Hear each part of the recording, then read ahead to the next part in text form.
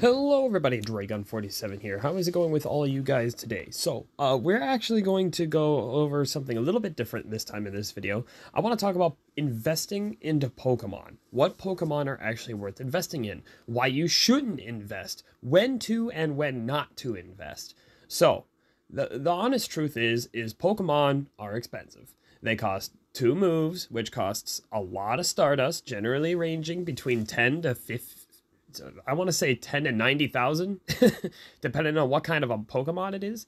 And it's important to know what you're actually getting yourself into when you're actually spending that dust and all that resource to really make sure that the investment that you just made into that Mon was actually worth it. So in this video, I'm going to go over a few tips and tricks on what Pokemon are particularly good to invest in and which ones are not, and when and when not to invest. So, we're going to start with PvP wise first, as opposed to anything else, because this is the hardest thing about investing. And I mean, in general, it's just kind of hard to know what happens, especially around this time, but we'll get to that here in a moment. Investing in Pokemon for PvP varies. You have something that I like to call the genuine staples, and then you have the things that are kind of off to the side and are, you know, considered meta relevant.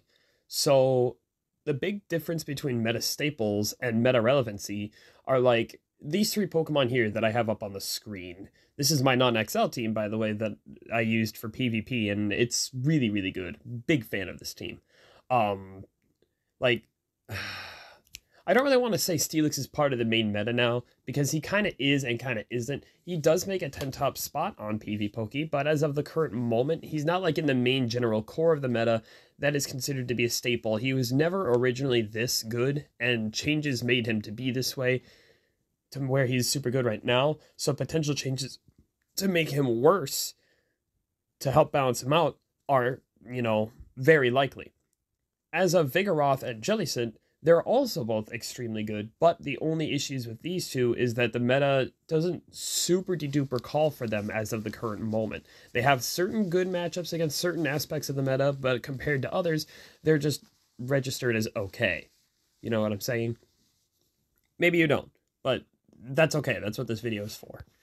Um, so here is an example of some staple mons that are like have been good, will continue to be good until the dawn of time, no matter what ranking they're put at. Azumarill is an obvious choice. Azumarill is a really, really good Pokemon, and so is Medicham, and so is Registeel, but we're going to focus on Azumarill as of the moment. The reason why you would want to invest into Azumarill is because this Pokemon, as one of the quote-unquote staples, as I was talking about, is like a mon that has such good bulk, such good typing, and decent enough moves to where it will always be at least at the bare minimum decent, if not better, just because of how good it is. And that's kind of the same boat for Medicham, Registeel. They're always going to be good. There's really no way we could nerf them to make them any worse than they already are, other than maybe hitting Medicham with Psychic and then maybe making Zap Cannon even less viable on Registeel. So people are like, ah, I don't want to run that anymore, or have them move off to Flash Cannon.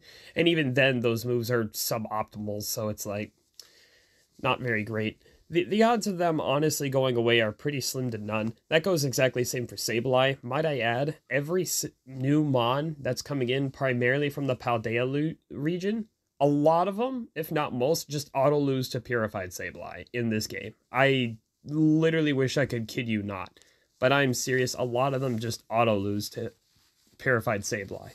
So having him around just is a good thing because he has a lot of winning matchups, a lot of good qualities about him, and he's a strong Pokemon. Lickitung. Lickitung will also continue to be good later down the road. He do be expensive with those XLs and an Elite TM, but the payoff is worth it as he's just that bulky, he has that good of a move set, and in general, he just has so many good positive and really good neutral matchups for him. Bastiodon, kind of the same boat as Azumarill, where you're just a wall, you're just a tank, you'll always be there just because of how much bulk you have, and there's not really much else to say or do about it. It's just a literal wall that's going to win into every flying matchup. That's kind of how it is. Other quote unquote staples could be considered some of these, and these guys are old.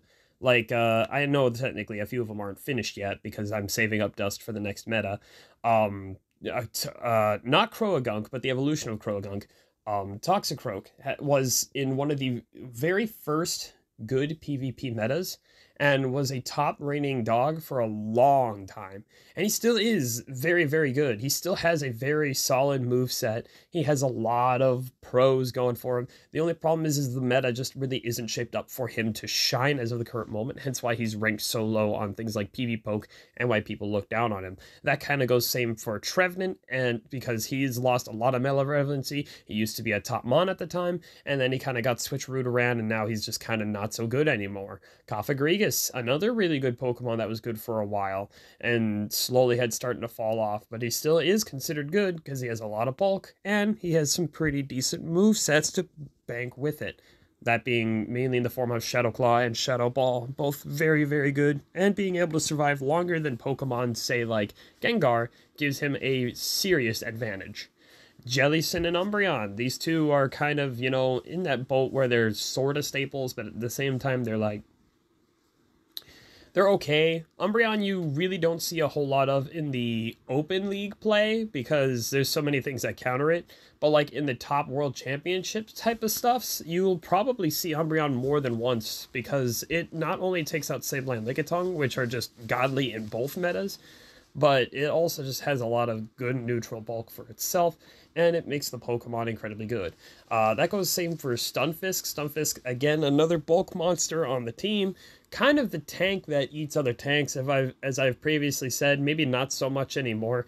I, I know Steelix has kind of taken his spot, but this this might be temporary. I'm not so sure.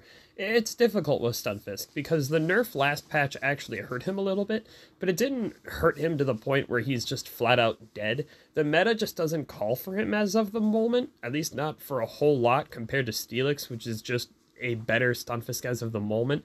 But Stunfisk is still just as good as he was, just requiring a new meta to rise up. Basically, waiting for the day Flyers to come back for him to actually start to be able to shine, or waiting for bugs to get buffed so we can crush them under his metal foot, or flipper, or whatever that is. Um, I'm gonna be real with you. The time to invest really is not right now. I know this is the last week of the season and this is the time to be pushing, but at the same time, it's like my counter argument is this saying, if you look over into this season for a little bit, we only have until tomorrow, as of the time I'm recording this, to we have like a week, all right. And on December 1st, when the season ends, they usually do a huge list of nerfs and buffs on that day. So when that does happen, all the Pokemon that are ranked in PvPoke, all of the ones that have been meta relevant, get shaken up or swapped around. Pokemon get buffed, Pokemon get nerfed, and that's how you get new and interesting metas, so you're not sitting in the same boring meta as of the years prior again and again and again and again and again. Although I won't lie, this recent one was pretty, at least in my opinion, pretty limited and not nearly as fun as the last meta. At least I felt like it was that way. Maybe it was because I actually don't have a good grass type or I didn't have an Alolan Sandslash that was worth investing in to actually make worth. But, I mean, you know, what can you do? Uh, there's not much I could do. This meta was just kind of limited for me.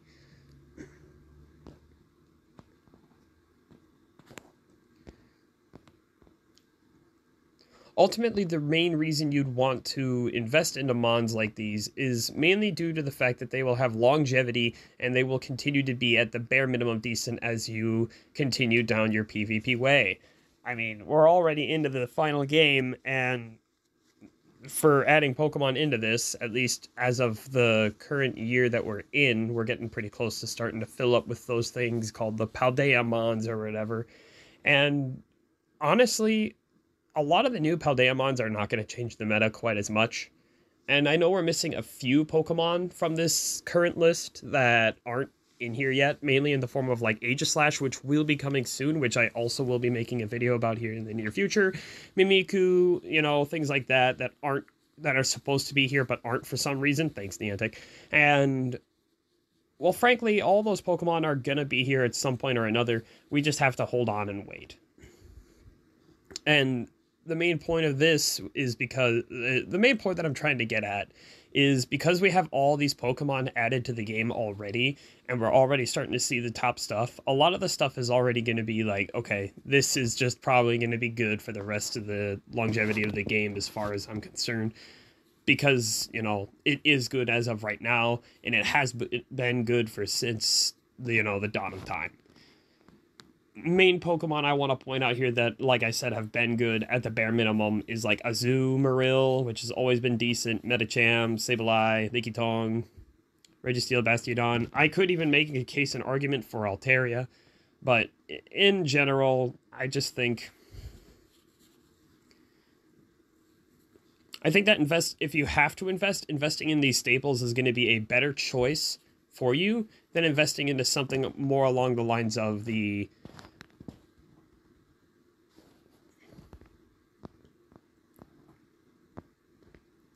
investing into more safe stuff like this is going to be a bit better for off for you rather than investing into more spicier stuff or stuff that isn't super duper PvP relevant like this. And I know I have a little bit of mixed of everything in here, but this is kind of my workshop bin where I'm going to be making a whole bunch of other different PvP mons in the future for me to just test and play around with.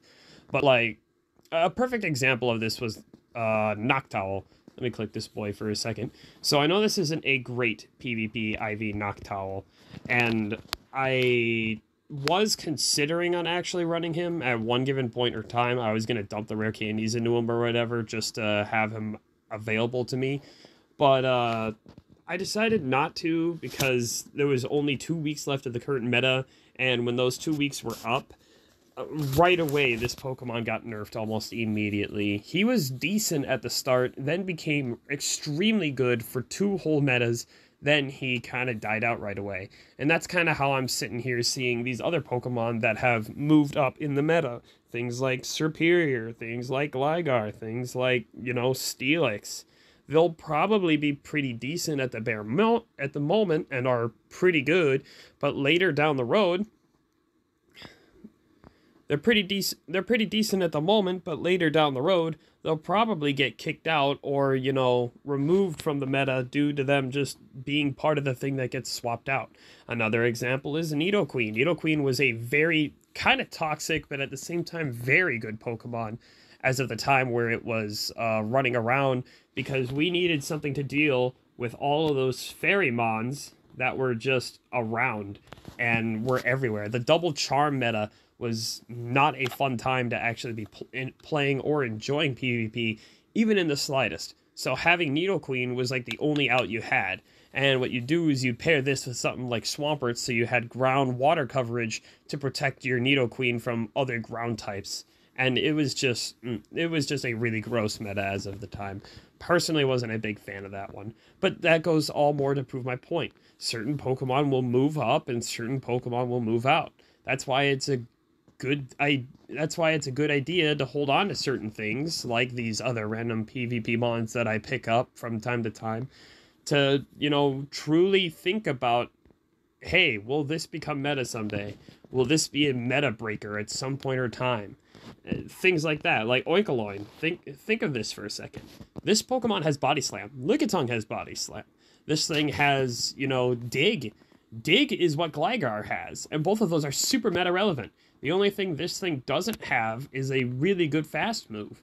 And if this thing were to get like Mudshot in the future, for example, this thing could actually see some meta relevant play just because it has the bulk, it has the moves, and honestly, its typing isn't necessarily terrible.